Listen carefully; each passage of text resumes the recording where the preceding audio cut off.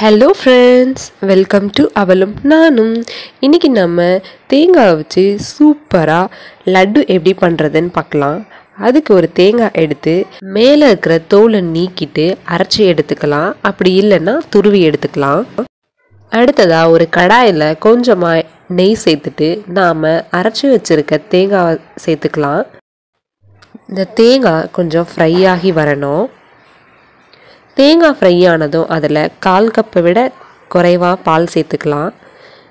இந்த பால்லையே தேங்காய் நல்லா வெந்து வரணும்.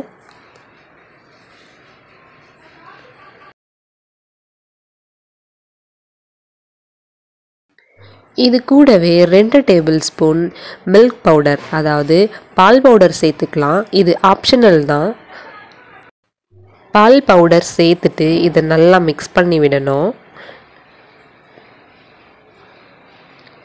இதில் இருக்கிற ஈரப்பதம் எல்லாம் ட்ரை ஆகி வரணும்.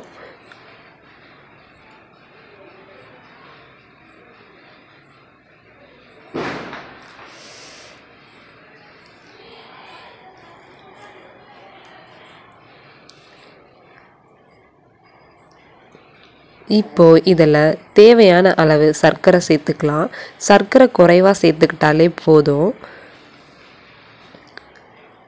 ஒரு தேங்காய்க்கு ரெண்டுலேருந்து மூணு டேபிள் ஸ்பூன் சர்க்கரையே போதும். இந்த சர்க்கரை எல்லாம் உருகி திரும்பவும் இதில் இருக்கிற ஈரப்பதம் எல்லாம் ட்ரை ஆகி வரணும்.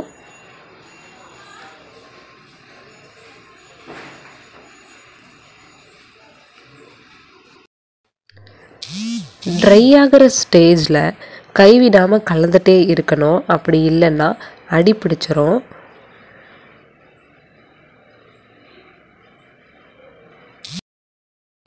இந்த அளவுக்கு ட்ரை ஆனதும் ஸ்டவ் ஆஃப் பண்ணிடலாம். இதை கொஞ்சம் ஆற விட்டு நம்ம ரவுண்ட் பண்ணி எடுத்துக்கலாம். அவ்வளோதான் நம்ம தேங்காய் லட்டு ரெடி இந்த வீடியோ உங்களுக்கு பிடிச்சிருந்தா லைக் பண்ணுங்கள் ஷேர் பண்ணுங்கள் மறக்காமல் சப்ஸ்கிரைப் பண்ணுங்கள்